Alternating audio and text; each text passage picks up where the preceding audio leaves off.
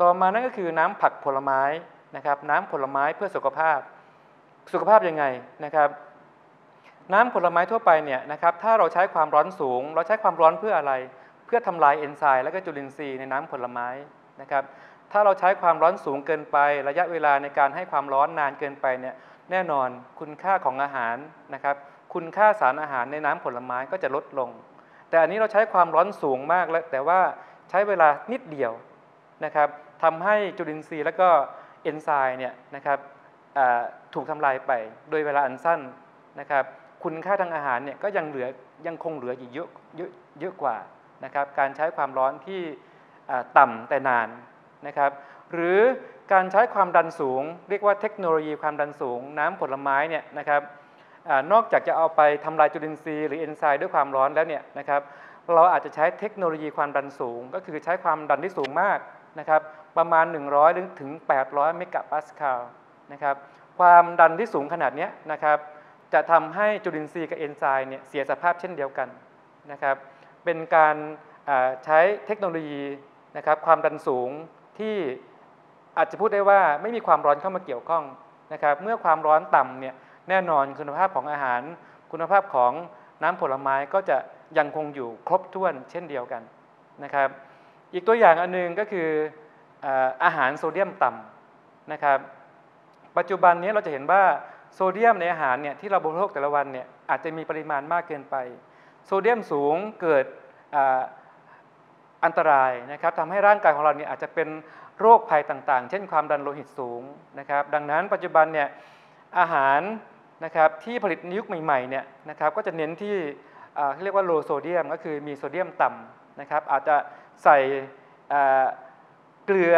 นะครับที่มีโซเดียมต่ำหรือเกลือที่ไม่มีโซเดียมเข้าไปในอาหารนะครับทำให้อาหารนั้นเนี่ยนะครับมีโซเดียมต่ำลง ซึ่งก็จะเป็นประโยชน์นะครับต่อสุขภาพของเรานะครับอาหารอีกอันหนึ่งนะครับที่เราได้เรียนรู้ไปก็คืออาหารทอดไขมันต่ำแน่นอนนะครับไขมันเนี่ยมักจะมองว่าเป็นผู้ร้ายนะครับในอาหารนะครับดังนั้นในอาหารทอดเนี่ย นะครับทำไมเราจึงนิยมนะครับก็เพราะว่าอาหารทอดเนี่ยมันกรอบนะครับมันกรอบแล้วก็มีกลิ่นรสที่เฉพาะของเขานะครับอาหารทอดจึงยังคงได้รับความนิยมอยู่นะครับแต่ขณะที่อาหารทอดเนี่ยนะครับต้องใช้น้ำมันนะครับก็คือเราจะทำไงที่จะลดไขมันในอาหารทอดลง นั่นก็คือการใช้เทคโนโลยีอันหนึ่งเรียกว่าทอดในระบบสุญญากาศ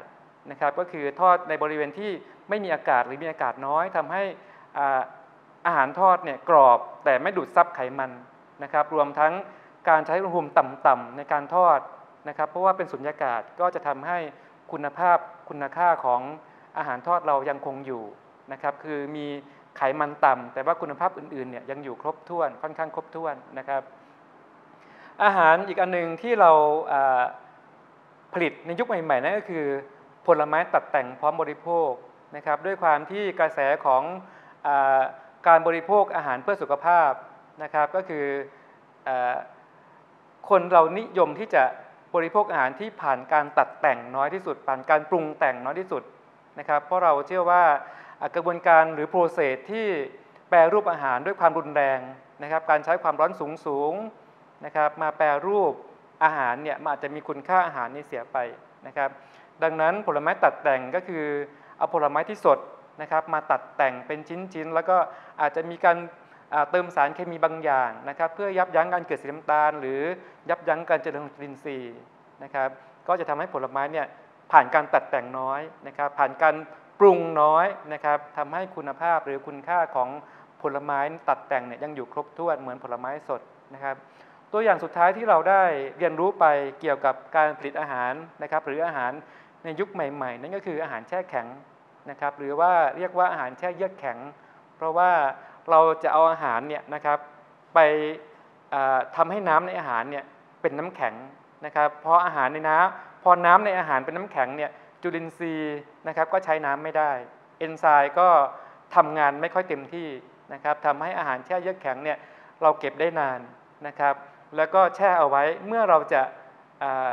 รับประทานหรือบริโภคก็แค่เอามาอุ่นนะครับด้วยเตาไมโครเวฟนะครับก็สามารถที่จะรับประทานได้โดยสะดวกนะครับแล้วก็คุณค่าก็ยังอยู่ครบถ้วนนี่ก็คือตัวอย่างอาหารทั้ง 6 อย่างที่เราได้เรียนรู้กันไปนะครับคิดว่าผู้เรียนก็น่าที่จะได้สัมผัสหรือได้ใช้นะครับหรือได้บริโภคตัวอย่างอาหารที่เราได้เรียนรู้กันไประดับหนึ่งนะครับหน่วยสุดท้ายครับเราพูดถึงอะไรครับพูดถึง บรรจุภัณฑ์นะครับ นั่นก็คือเมื่อเราผลิตอาหารเสร็จเรียบร้อยนะครับ จะต้องมีการห่อหุ้มนะครับ หรือหีบห่ออาหารของเราเพื่อที่จะสะดวกในการบริโภคนะครับ ในการขนส่งหรือปกป้องตัวผลิตภัณฑ์นะครับ นั่นหมายถึงว่าบรรจุภัณฑ์เนี่ยนะครับทำหน้าที่รองรับห่อหุ้มนะครับอาหารที่อยู่ภายในนะครับ ป้องกัน อาหารภายในจากการเสื่อมเสียทางด้านต่างๆ ไม่ว่าจะเป็นการเสื่อมเสียทางกายภาพที่เราได้เรียนรู้ไป ทางเคมีหรือจุลินทรีย์นะครับขณะเดียวกันครับบรรจุภัณฑ์เนี่ยยังทำหน้าที่อีกอย่างหนึ่งนะครับ นั่นคืออะไรครับคือการโฆษณาประชาสัมพันธ์จะเห็นว่าที่บรรจุภัณฑ์ของอาหารต่างๆเนี่ยที่เราได้เห็นเนี่ยจะมีข้อความโฆษณาหรืออะไรก็ตามที่ทำให้เราชวนซื้อหรือชวนเชื่อว่า อาหารนั้นมีคุณค่ามีคุณประโยชน์นะครับ นั่นคือหน้าที่ของบรรจุภัณฑ์ที่เราได้เรียนรู้ไปนะครับ ถ้าเราจะแบ่งล่ะนะครับ ผู้เรียนคงจะพอจำได้นะครับ ว่าถ้าเราจะแบ่งบรรจุภัณฑ์เป็นประเภทต่างๆเนี่ยนะครับ ก็สามารถแบ่งได้หลายอย่าง อาจจะเป็นบรรจุภัณฑ์เฉพาะหน่วยนะครับนั่นคือบรรจุภัณฑ์ที่สัมผัสกับตัวอาหารเลยนะครับ แล้วก็บรรจุภัณฑ์ชั้นในก็คือถัดออกมาอันหนึง แล้วก็บรรจุภัณฑ์ชั้นนอกสุดที่เราจะหีบห่อครับเป็นอันใหญ่ ๆ นะครับ นั่นก็คือประเภทของบรรจุภัณฑ์หรือจะแบ่งตามวัตถุประสงค์การใช้เป็นเป็นการเป็นบรรจุภัณฑ์เพื่อการขายปลีกนะครับ เพื่อการขายส่ง หรือจะแบ่งตามการคงรูปนะครับ แบ่งเป็นประเภทแข็งแข็งๆนะครับ พวกแก้ว พวกเซรามิกนะครับ แบ่งเป็นกึ่งแข็ง พวกพลาสติกอ่อนกระดาษแข็งอะไรพวกนี้นะครับ หรือจะแบ่งตามความยืดหยุ่นนะครับ ยืดหยุ่นมากๆ พวกกระดาษอ่อน พลาสติกอ่อนๆมากๆนะครับ หรือจะแบ่งตามวัสดุนะครับเป็นแก้วเป็นโลหะ เป็นกระดาษพลาสติก นั่นก็คืออบรรจุภัณฑ์นะครับที่เราได้เรียนรู้ในบทที่ในหน่วยที่ 4 หน่วยสุดท้ายของเรานะครับ แล้วก็ได้พูดถึงฉลากโภชนาการนะครับฉลากอาหารนะครับว่าระบุอะไรนะครับอ่านยังไงนะครับมีประโยชน์ยังไงนะครับนั่นก็คือเนื้อหาสาระสำคัญของหน่วยที่4นะครับคิดว่าผู้เรียนคงจะได้เรียนรู้ นะครับได้ความรู้เพิ่มเติมนะครับจากวิชาของเราวิชาเทคโนโลยีอาหารและการผลิตอาหารยุคใหม่ๆนะครับขอให้พวกเราได้มีความสุขในการเรียนแล้วก็ได้นำความรู้นะครับที่ได้เรียนรู้ไปไปใช้ประโยชน์ในชีวิตประจำวัน ขอบคุณมากสวัสดีครับ